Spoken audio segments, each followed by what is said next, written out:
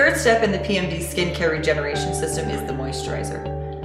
It is designed to calm the skin. It's also going to put the vitamins back in your skin that it needs. After we've removed the top layer of the dead skin, we want to make sure that we're adding vitamins and minerals to our face.